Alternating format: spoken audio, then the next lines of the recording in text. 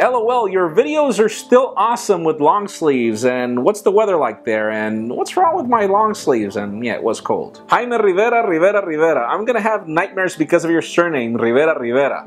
Can you imagine what I'm gonna have with your surname? Microsoft Scroogle campaign, no word on that, and man, this is not a soap opera, this is YouTube. That's right, it's that time of the week. I am Jaime Rivera, this is Pocket Now, and this is our Pocket Now Daily Recap for last week.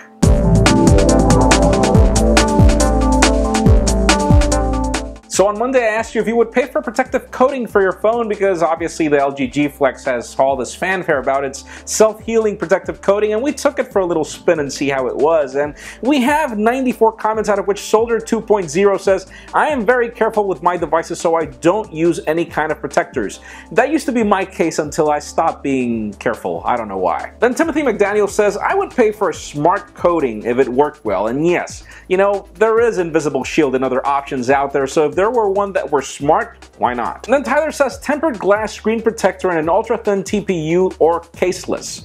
Um, you know, the problem with those TPU cases is in the case of polycarbonate phones, sometimes they get these permanent smudges at the back, and even that happens with glass, so I would rather stick to something that is not visible and it's better. Then on Tuesday, I asked you, what did you order for Black Friday or Cyber Monday? The news were obviously of the biggest winners for Black Friday, and it ended up being Apple with the worst deals. And we have 375 comments, out of which Edward Bliffen says, the new acquisition is more debt. And that happened to everybody, buddy. Then Timothy Jackson said, I got an iPad Air. Good for you. A lot of people did, and actually, that's probably one of the best buys when it comes to tablets in the market right now. It's actually sad for some people because it could be more productive for that price tag, but still, the iPad Air is a good tablet. Then Victor says, I bought the best phone right now on Cyber Monday Wednesday, which was the Moto X, and you're lucky, man. I cannot believe you were able to land the phone in 10 minutes because that's how much it lasted. It was terrible.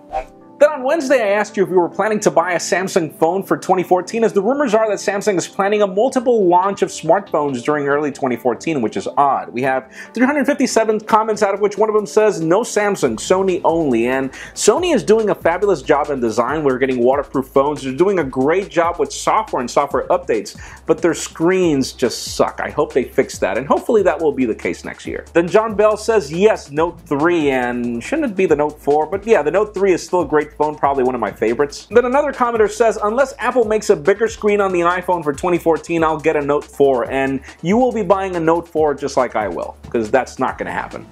Then on Thursday, I asked you if the bad camera of the Nexus 5 has kept you from buying it because the news were of Android 4.4.1 reaching the Nexus 5 to fix these problems, and we have 265 comments, out of which David Lawman says, I bought the HTC One over the Nexus 5, no regret. And you're lucky, you probably don't have a Retina display tablet or computer, and you don't see all those pixels on the HTC One's photos.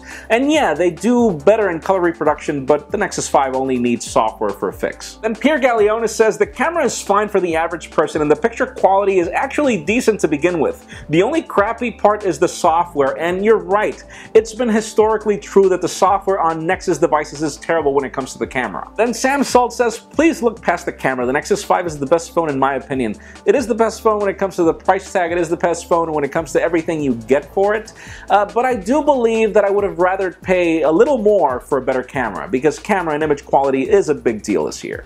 And then finally on Friday I asked you if you would like for other OEMs to have their own retail stores. The news were of Apple and their whole iBeacon technology and how good it was in innovation. And we have 387 comments out of which one of them says agree HTC stores would be the way. Better than Robert Downey Jr.'s ads. And yes, you are so right. I would think that HTC stores in the United States would do a far better job than teaching people how to say HTC and names for that. Then another commenter says, I would love to see Google stores for Nexus devices and more. And yes, you're right.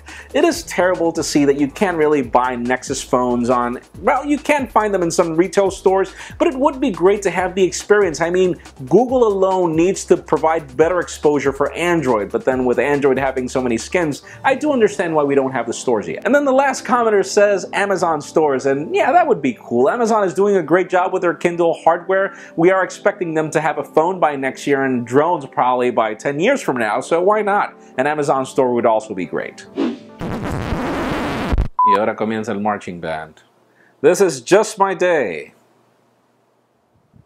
All right. 57 comments out of which Aid says no Samsung, Sony only. And man, if Sony ¿Qué era lo que iba a decir yo aquí? You can follow me on Twitter, Jaime underscore Rivera. Please,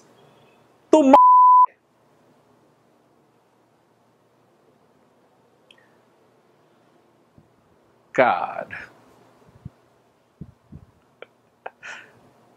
That's it for a Pocket Now Daily Recap. Thank you very much for watching. A couple of...